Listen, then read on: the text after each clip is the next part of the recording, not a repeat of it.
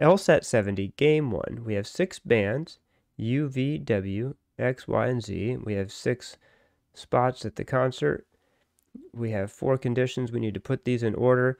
So this is a straightforward ordering problem. Let's look at the conditions. We have that V is before Z, W and Z before X, U is somewhere in 4, 5, and 6, and Y is in 1, 2, and 3.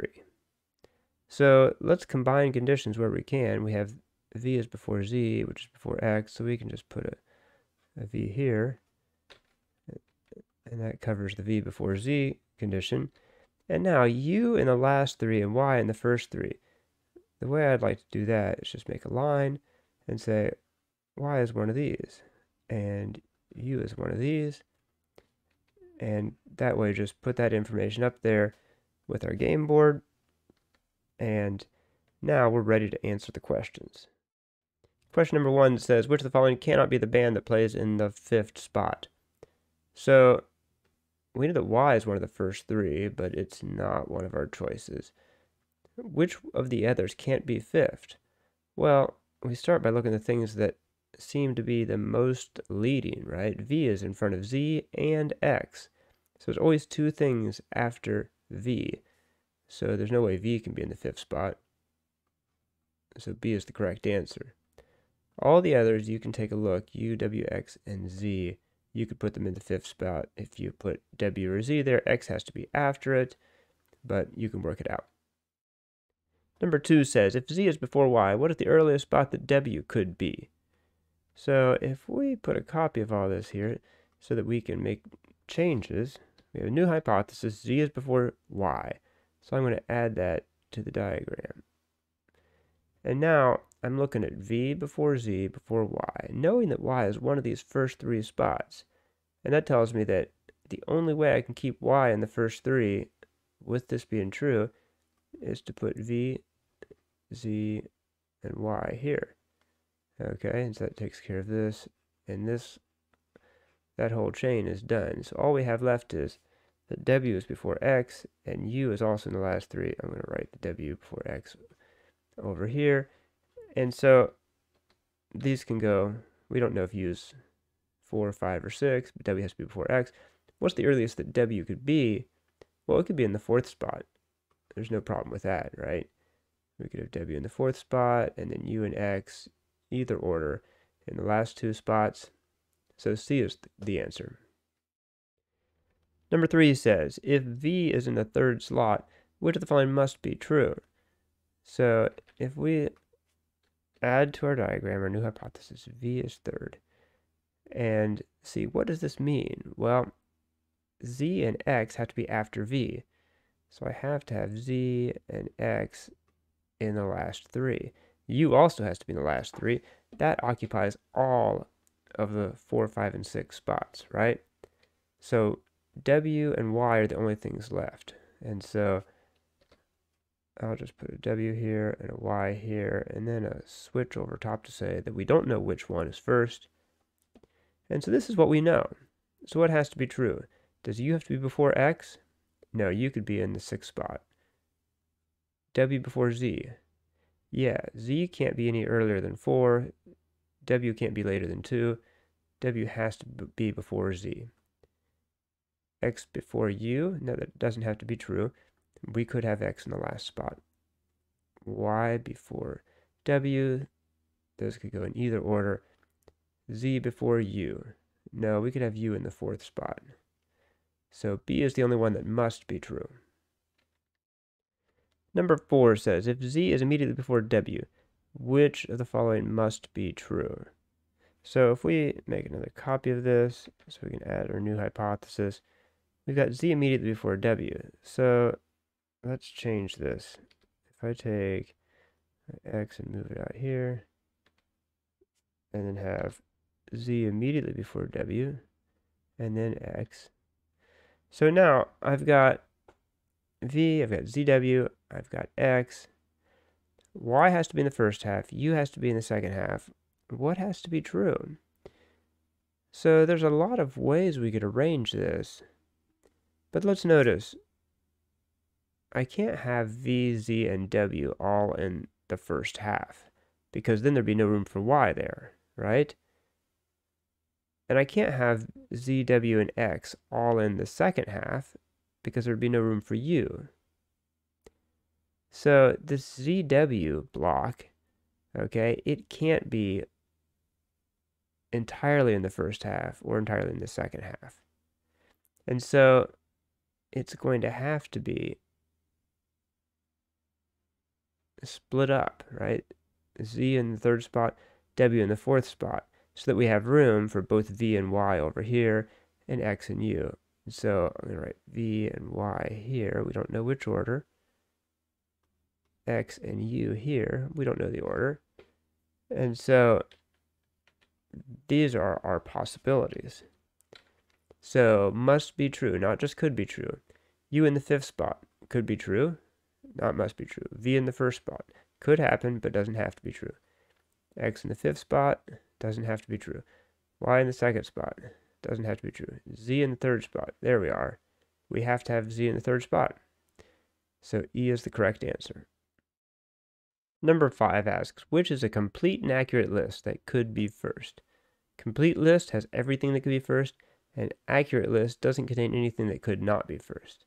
Let's start thinking about the things that could not be first and eliminating those. So z and x have v before it. So z and x can never be first. So let's erase z and x here. u is in 4, 5, and 6, so it can't be first. So our only possibilities are v, w, and y. And on the immediate previous problem, we had we had v and y both as possible for being first. So we know these guys can be first. Can w be first? In fact, I think we saw that on an earlier one too, but since it's been a while, we'll, we'll write it out. If I put w first, then I can put y here, and then v, z, x, and u. So w also can be first. So all three of these can be first. And so this one, D, has V, Y, and W. This one has Z, so it's not an accurate list. And these three are not complete lists, because all three of these can be first. Number 6 says, if W is immediately before X, which of the following could be true? So let's make a copy of this and see what we can conclude. If W is immediately before X, then we must have that Z is before this WX block, right? Because nothing can be between W and X, and Z is before X, right, from our old hypotheses. Now, what are the possibilities here? So, if I have this WX block here, then U goes after it. If I put that 5 and 6, then U goes before it. And we could wonder, is there another possibility? Could I have W in the third spot, X in the fourth spot? Well, no, because V and Z have to be before it, and Y has to be in the first three, so there's only you know two spots left if I put W in the third spot for Y, V, and Z. So these are the only two places I can put WX. Okay, so then I have the first three are going to be V before Z and Y in some order. Okay. So, which could be true? Could U be in the fifth spot? No, it could not. Either X or W is in the fifth spot. Could V be in the third spot? Well, no, V has to be before Z, so V can only be first and second. Could W be in the third spot? No. W is either fourth or fifth, we determined. Z in the second spot. Yeah, that's that's fine, right? We could, in either of these scenarios, have like V, Z, Y right? Z in the second spot works. Now, last choice says Z in the fourth spot, but no, fourth spot is occupied. So D is the only one that could be true. Number seven is a rule substitution question. it asks which rule, if we substitute it for the rule that says that w and z are before x, okay, so this is the rule that we're substituting here. Which of these rules, if we use it in place of this rule, would have the same effect? So we need to make sure that with the new rule set, when we add this rule and remove this one, that we allow everything that was allowed before and prohibit everything that was prohibited before. Okay, so A says only u can be after x. Okay, before, could anything other than u be after x? Well, certainly not v, z, or w, and y could never be after x, because x was always pushed into the second half, because it has these three things in front of it. So u was the only thing that was allowed to be after x before. Okay, well, if we make that our new rule, only u can be after x, what are we saying? Well, we're saying everything else, everything that's not u, must be before x. So we're saying w is before x, z is before x, v and y are also before x, which we got without having said it explicitly before. So yeah, this is equivalent.